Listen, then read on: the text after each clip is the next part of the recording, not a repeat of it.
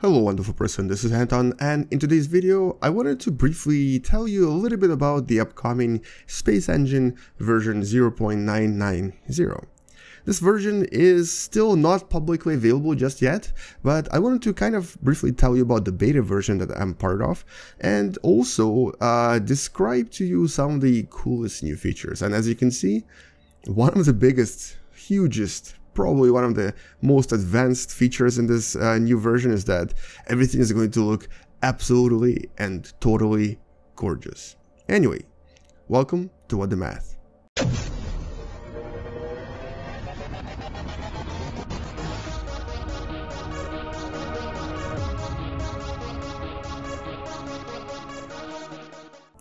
So I decided to start uh, my game right here on this random Kepler planet um, far, far away. And just to give you an idea what an average planet will look like in the new space engine. There's its star right there in the background. And just to kind of introduce to you some of the coolest changes in the game, but also some of the biggest changes as well. So I think the biggest change is definitely the graphics. They've improved pretty much everything. The textures will be better, the lighting effects, the um, the surface generation of planets, uh, rendering effects will be much more improved, and also even the bloom effect will be better if you use it. In other words, everything will look absolutely beautiful. If you actually, or when you actually get 990, the first planet you start on um, is actually uh, it's not a planet, sorry, it's a moon of uh, some gas giant somewhere far away. It looks so realistic that I, I was blown away when I saw it. Unfortunately, I lost the coordinates for that object, so I can't really show it to you here. But as you can see, even an average planet, procedure generated average planet, looks a lot better than it used to. So graphics are definitely improved. There's also new music, um, although once again, it's sort of not really open source as in you, you can uh, get flagged for it on YouTube, so be careful when you use it, but there's definitely more uh, music available. And uh, if you are a VR fan, Oculus and HTC Vive will actually have total and full support with the new Space Engine.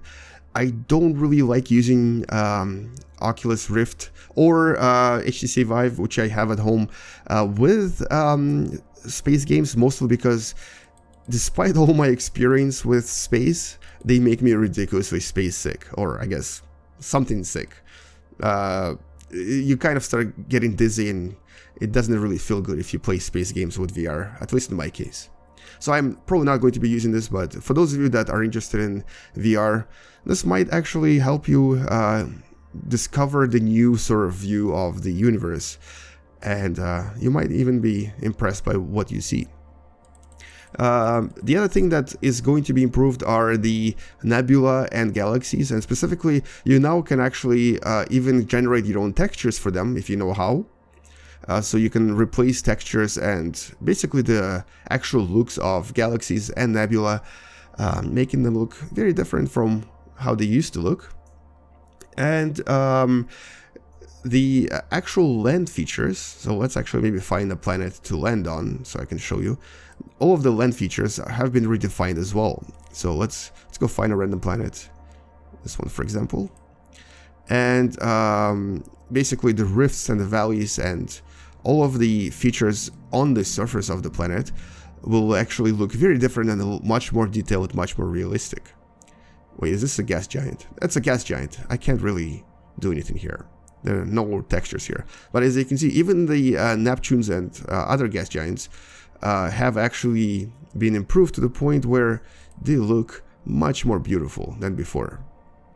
Okay, here's one, Kepler 397b. This is a Megaterra.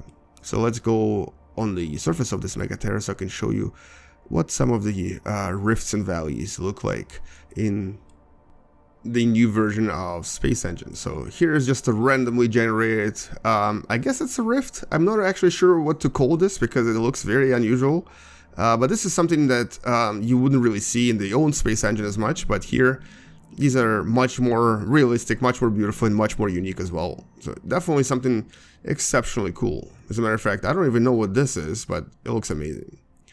Uh, so, alright, so what else have been uh, added? So, first of all, If you've ever used autopilot with um, different uh, vessels in the game, you know that it was kind of difficult to use before, but now they added waypoints, which are actual objects, so you can use your craft much easier. And uh, on top of this, if you go to single player, uh, you can now... No, I'm on Earth apparently.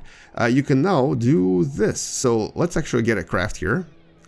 Um, you can edit your your vessels. So first of all, let's jump to it really quickly just so we can see what it looks like. I can now go into edit mode and edit what this looks like. It's already flying somewhere as a matter of fact. I think I sent it on an adventure by itself. Um, I can go into editor and there's actually quite a lot of new things here. Uh, some of these already existed, they just didn't have their own sort of box dedicated to them. But like for example, uh, here I can edit the ship and I can now go ahead and select uh, a module, like for example this fuel tank, and then just make it 10 times bigger on every size. And look at that. That's pretty crazy. It's basically a flying, flying tank. Um, so really, really cool. You can basically redesign your vehicles to look the way you want them to look. And you can create your own vehicles as well and download more from um, Space Engine repositories and then just make them look to how you want them to look. And speaking of editing, so some of these actually did exist in the game before, but they just now receive their own sort of uh, box you can click on. So like this here allows you to edit a way a planet looks. This is planet editor as well. Uh, nebula editor is a new thing, so you can edit nebulas to basically um, appear as you want them to appear, changing their look completely. Uh, so there's a lot of new uh, ways for you to essentially modify your game.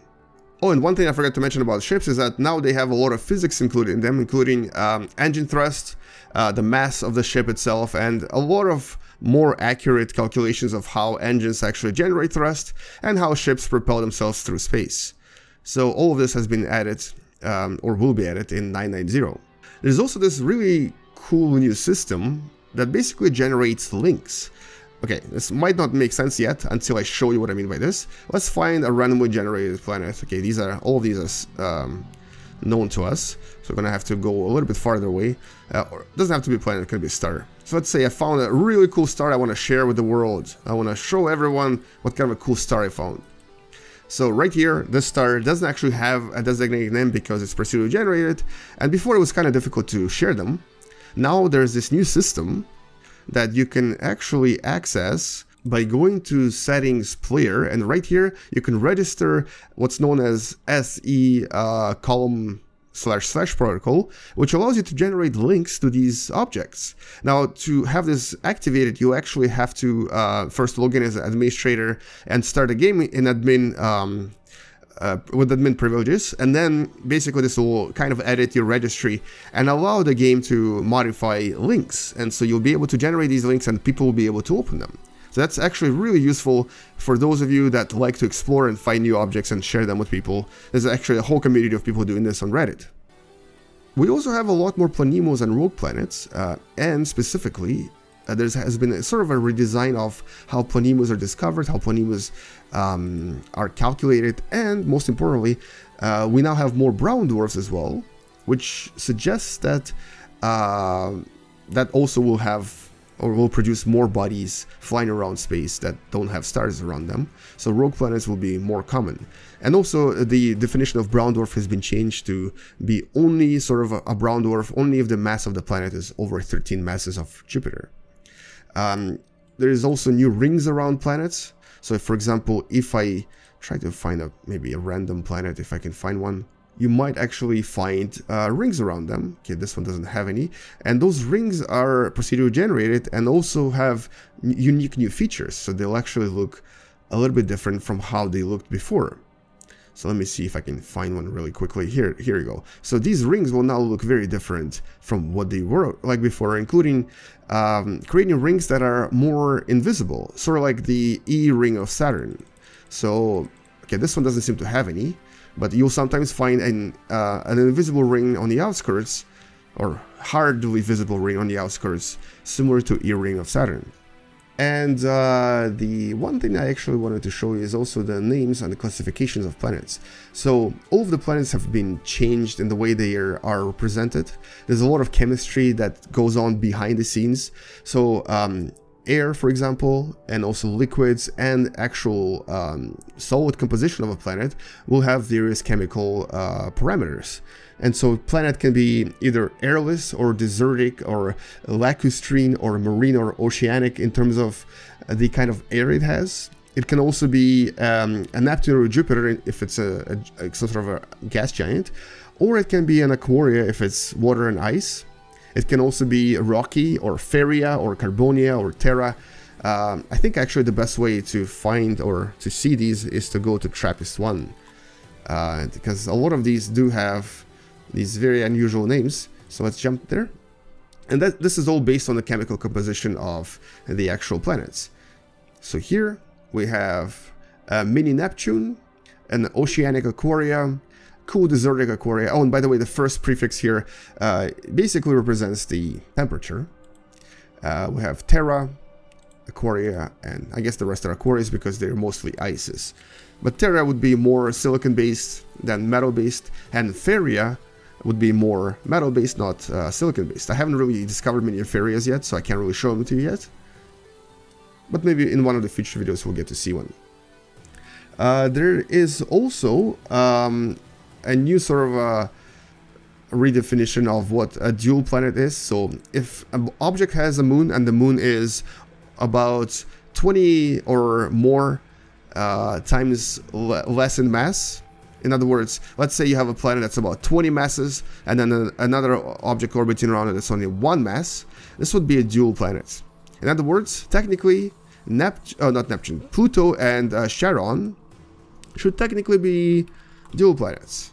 Unfortunately, they're not, because people are being stubborn about reclassifying them, but this is technically a binary planet, right there. And oh, by the way, look at that. Can you, can you see the actual atmosphere? This has been redefined a little bit, so now it's much easier to see the atmospheric cover of Pluto, which is pretty awesome. Uh, so yeah, Pluto and Charon, they're technically binary planets because of this new redefinition.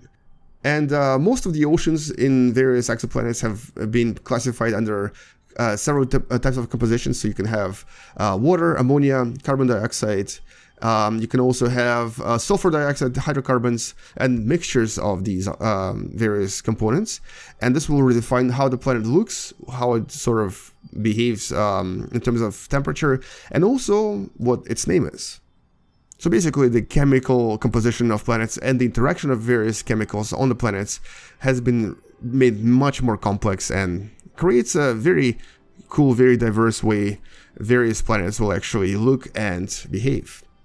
You can also now discover planets that uh, would be automatically classified as mini Neptunes if their atmosphere is over a thousand atmospheres and um, also some uh, ocean planets might actually be classified as mini Neptunes if they have uh, what's known as a supercritical fluid that forms on their surface. So definitely a lot more complexity to the game now. Uh, and as you can see, some planets will now have really awesome features on the other side that will look absolutely incredible. This is very, very beautiful and very magnificent. Now, um, all in all, the game will actually have a lot of improvements. It's still not the final version, obviously, but um, uh, the vast majority of these improvements basically make it an almost complete release. And um, I honestly can't wait for the 1.0, maybe in a few years, but uh, even this right now makes this one of the, if not the best simulations available out there. If you haven't tried Space Engine yet, you definitely have to give it a try. And uh, I, I mean, I'm not really associated with the programmers of this game, and I don't really know who they are, to be honest.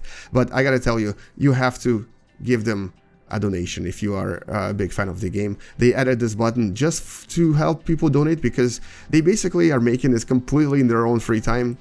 Um, this has been started by one person, I believe there's several people working on the project now, and um, it's actually, this is kind of how I like software. I mean, it's, you know, it's open source, it's free to play forever, and it's never going to be um, sort of a simulation that will have any uh, DLCs you have to pay for, for example. Even if one day they start charging for this, it will totally be worth the money. And so all in all, I'm actually really impressed with how Space Engine been advancing over the years, and I'm definitely impressed with what we have here so far. So uh, once it comes out, do give it a try and potentially support the team behind this game as well. Anyway, if I missed something, I'm sorry, I didn't really cover some of the uh, minor additions, but uh, the list is uh, on the forum, you can check it out, you can read through it and see what they changed, or will change, I guess, when it comes out. All in all though, I'm definitely impressed and we'll be using this game for years ahead.